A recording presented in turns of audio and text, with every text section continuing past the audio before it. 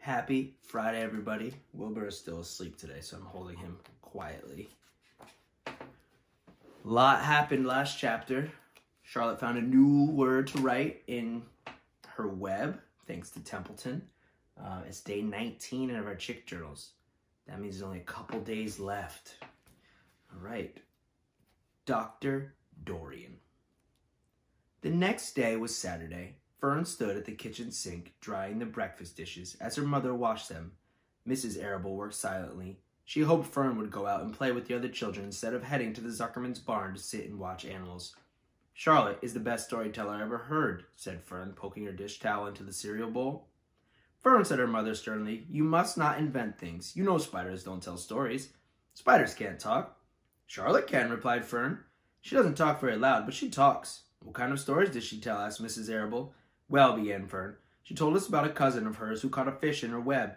Don't you think that's fascinating?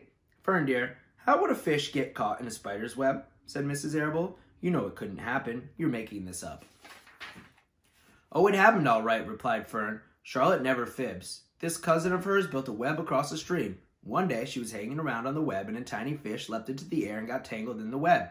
The fish got caught by one fin, mother. Its tail was wildly thrashing and shining in the sun. Can't you just see the web sagging dangerously under the weight of the fish? Charlotte's cousin kept slipping in, dodging out, and she was beaten mercilessly over the head by the wildly thrashing fish, dancing in, dancing out, throwing fern, snapped her mother.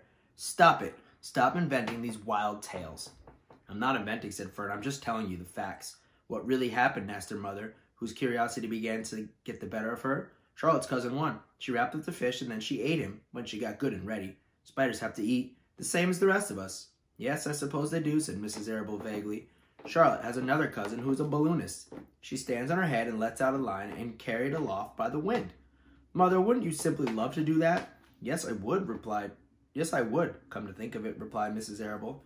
But Fern, darling, I wish you would go out and play with other outdoors today instead of going to Uncle Homer's barn. Find someone, some of your playmates, and do something nice outdoors. You're spending so much time in the barn. It isn't good for you to be alone so much. Alone, said Fern. Alone? My best friends are in the barn cellar. It is a very sociable place, not at all lonely. Fern disappeared after a while, walking down the road towards Zuckerman's. Her mother dusted, dusted the sitting room. As she worked, she kept thinking about Fern. It doesn't seem natural for a girl to be so into, interested in animals. Finally, Mrs. Arable made up her mind. She would call on our old Dr. Dorian and ask for his advice. She got in the car and drove us over to his office in the village. Dr. Dorian had a thick beard. He was glad to see Mrs. Arable and gave her a comfortable chair. It's about Fern, she explained. Fern spends entirely too much time in the Zuckerman's barn.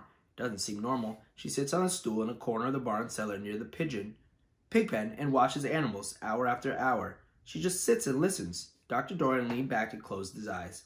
How enchanting, he said. Must be real nice and quiet down there. Homer has sheep, hasn't he? Yes, said Mrs. Arable. But it all started with that, that pig we let her raise on a bottle. She calls him Wilbur. Homer bought bought the pig, and ever since that, ever since it left our place, Fern has been going to her Uncle Homer's to be near it. I've been hearing things about that pig, said Dr. Dorian, opened his eyes. They say he's quite a pig.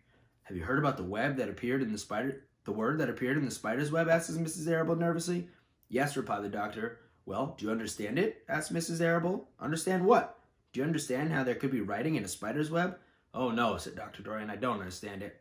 But for the matter of fact, I don't understand how a spider learned to spin a web in the first place. When the words appeared, everyone said that they were a miracle, but nobody pointed out that the web itself is a miracle. What mirac- what's miraculous about a spider web? said Mrs. Arable. I don't see how you could say a web is a miracle. It's just a web. Ever try to spin one? asked Dr. Dorian.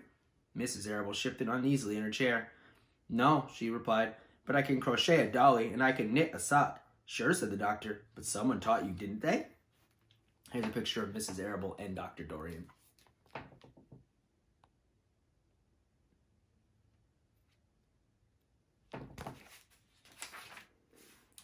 My mother taught me. Well, who taught a spider? A young spider knows how to spin a web without any instructions from anyone on how to do it with anybody. Don't you regard this as a miracle? I suppose so, said Mrs. Arable. I never looked at it like that before. Still, I don't understand those words got into the web. I don't understand it, and I don't like what I don't understand. None of us do, said Dr. Dorian, sighing. I'm a doctor. Doctors are supposed to understand everything, but I don't understand everything, and I don't intend to let it worry me.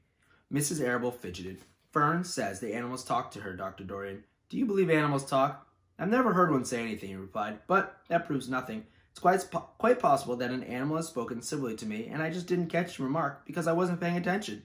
Children pay better attention than grown-ups. If Fern says that the animals in Zuckerman's barn talk, I'm quite ready to believe her. Perhaps if people talked less, animals would talk more. People are insistent talkers, incessant talkers. I can give you my word on that. Well, I feel better about Fern, said Mrs. Arable. You don't think I need to worry about her? Does she look well? asked the doctor. Oh, yes. Appetite good? Oh, yes, she's always hungry. Sleep well at night? Yes. Then don't worry, said the doctor. Do you think she'll ever start thinking about something besides pigs, sheep, and geese and spiders? How old is Fern? She's eight. Well, said Dr. Dorian, I think she will always love animals, but I doubt that she'll spend her entire life in Homer Zuckerman's barn cellar.